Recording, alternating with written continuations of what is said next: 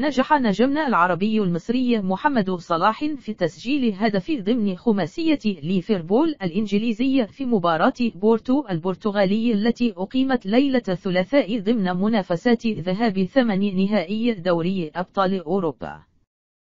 وكان الريدز قد حلوا ضيوفا ثقيلة على ملعب الدراجة حيث تمكنوا من الفوز بنتيجة عريضة تضمن لهم بشكل كبير انتزاع بطاقة العبور إلى الدور ربع نهائي وسجل ابن الخمس وعشرون ربيعا الهدف الثاني بكيفية مذهلة ومهارة استثنائية نالت إعجاب وانبهار الجميع بما فيهم أسطورة النادي ستيفن جيرارد الذي أغدق الثناء على أفضل لاعب في أفريقيا 2017 صاحب السبع وثلاثون عاما تحدث من خلال قناة بي تي سبورت قائلا لقد رأينا لحظة من تألق محمد صلاح في الهدف الثاني نقطة رائع للغاية.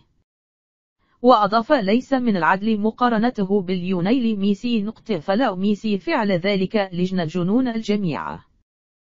وتابع إنها لقطة مهارية رائعة للغاية ولكن هي رباطة الجأش المنطقة من الملعب التي يتواجد فيها.